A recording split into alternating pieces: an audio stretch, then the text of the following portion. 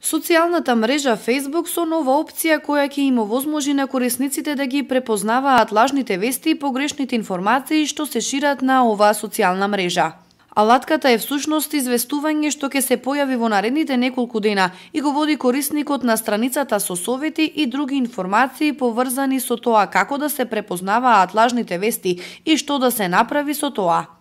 Лажните вести и дезинформации никако да прекина да се шират, иако веќе со години лажните вести најчесто се користеа за светот и шоу бизнисот. Последнава година тие веќе ја напуштија сферата на забавата или пак на постигнување поголема економска заработка и се користат за да се остварат интересите на центрите на мојки.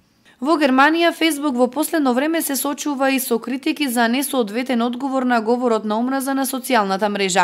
Меѓутоа, со оглед на тоа дека проблемот не опфаќа само неколку земји, туку се опфатени речиси сите поголеми центри на моќ. Групата земји членки на Европската Унија и на НАТО се договорија да основаат Европски центар за хибридни закани, чија цел е борбата против неконвенционалните форми на војна, како што се дезинформациите и лажните вести.